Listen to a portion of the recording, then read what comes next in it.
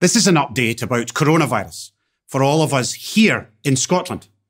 To protect ourselves and our NHS, the advice here is staying very much the same.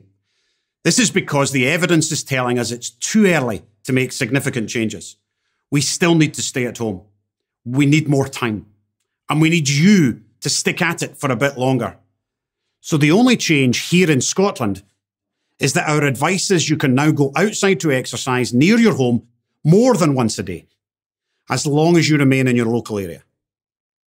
You should continue to stay two metres apart from others outside your household at all times, and always wash your hands when you get home. You're doing a fantastic job of following the rules, and it's working. You're saving lives every day. Let's not undo it now. By continuing to stay at home, you're protecting Scotland's NHS and saving lives.